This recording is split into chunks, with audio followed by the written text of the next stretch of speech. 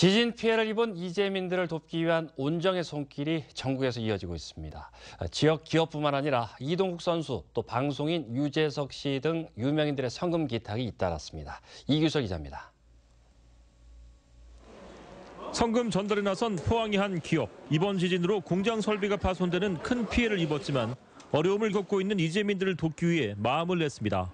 한 3천만 원 이상 피해가 있는데도 불구하고 이번 지진으로 인해서 포항 시민하고 아픔을 같이 하고자 스님들도 성금 대열에 동참했습니다. 그 10분의 1이라도 그 마음적이라도 그 위로를 해주고 포스코가 15억 원, 포스코 외주 파트너사 협의회에서 성금 5억 원을 기탁했습니다. 포항 출신의 이동국 선수가 이재민을 도우라며 성금 5천만 원을 선뜻 내놓았고 유재석과 장윤정, 이영애 등 유명인들도 기부 대열에 동참했습니다. 광주광역시와 전남도청, 대구 수성구청 등 지자체들도 기부금을 전해왔습니다. 구호 물품 지원도 잇따르고 있습니다.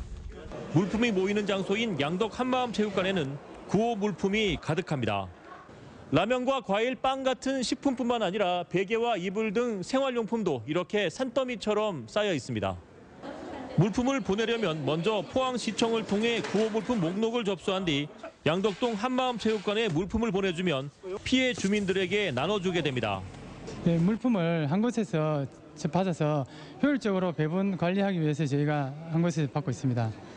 지진 현장에서는 국민들의 성원 덕분에 물과 라면 등 생활 필수품은 충분하다며 장난감이나 크레파스 등 피해를 입은 아이들에게 필요한 물품을 보내거나 추가 성금 지원이 절실하다는 입장입니다.